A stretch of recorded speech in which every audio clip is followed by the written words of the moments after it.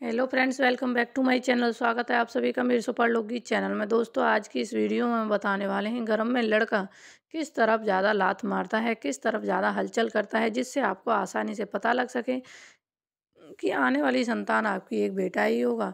दोस्तों, ये जो जानकारी हम आपको दे रहे हैं, काफ़ी हद तक सही साबित होती है और काफ़ी सारी महिलाओं में ये सही साबित भी हो चुकी है। और आपको ये किस महीने से पता लगेगा कि आपका बच्चा हलचल किस साइड कर रहा है? लड़का अगर होगा तो आपको इस महीने से ज़रूर पता लगेगा कि आने वाली संतान है आपकी एक बेटा ही है। चैनल को सब्सक्राइब करें, साइड में ऑल को प्रेस कर लें।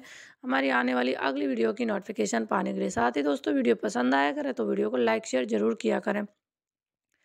आइए दोस्तों जान लेते हैं, होता क्या है? जबकि आप कंसीव करती हैं प्रेग्नेंट होती हैं तो आपके मन में एक जिज्ञासा चल रही होती है। एक मन अशांत रहता है कि हमारे आने वाली संतान क्या है? बेबी का जेंडर क्या है? तो दोस्तों, ये तो आपको नौ महीने बाद ही पता लगेगा क्या है, क्या नहीं, लेकिन आप थोड़ा अंदाज़ा ज़रूर लगा सकते हैं, अपनी जिज्ञा को थोड़ा सा शांत कर सकते हैं।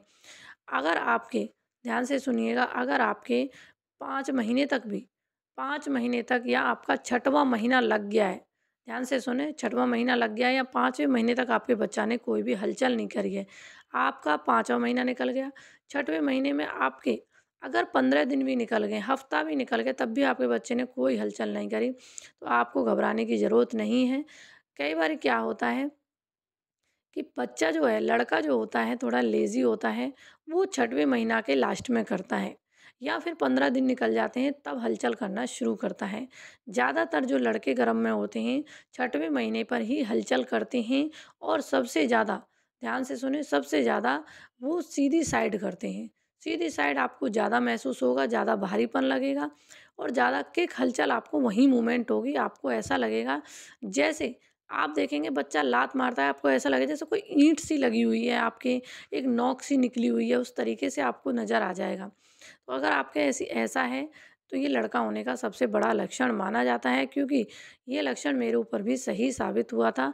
मेरा जो बेटा था ज़्यादातर सीधी साइड ही रहता था और जो मेरी गर्ल थी, पहले लड़की थी, वो खैरी साइड रहती थी।